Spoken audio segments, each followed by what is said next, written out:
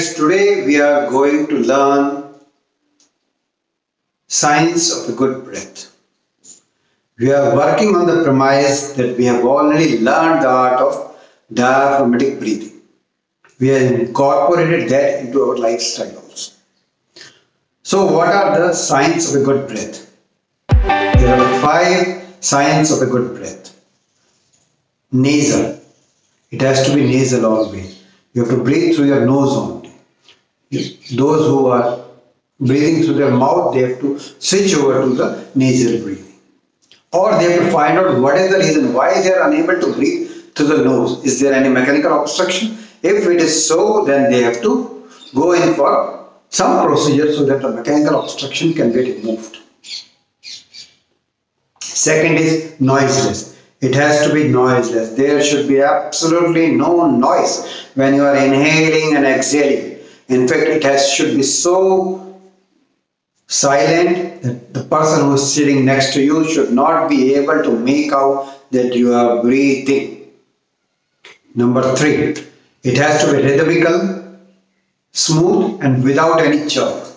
If there are there is any jerkiness in your breath, that means either there is some disturbance at the emotional limbic system, that is emotional system, there is some derangement in the emotional system, or your respiratory muscles are not, they doesn't have good strength. You have to strengthen the respiratory muscle so that you can take care of the jerkiness part.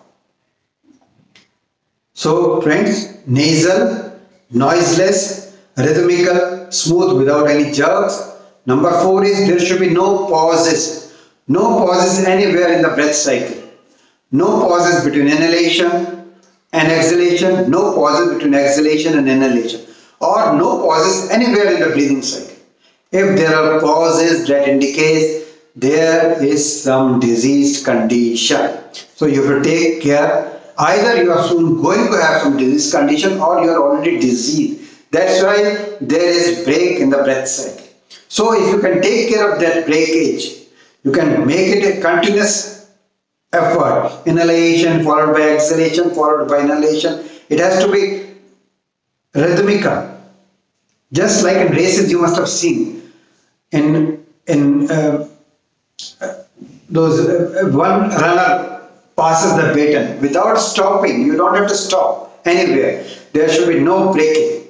If there is any suspension of breath anywhere, you have to take care of that. I am not talking about suspension holding with awareness. This is I am talking when we are unaware. So we have to make sure there are no pauses in our breath cycles. As Swami Rama says, pauses means you are already diseased or soon going to have some disease. And number fifth is very very important IE ratio, inhalation exhalation ratio. That means breathing in time and breathing out time. Exhalation has to be twice the length of inhalation. The length of exhalation has to be twice the length of inhalation. Is 3 seconds, your exhalation should be 6 seconds.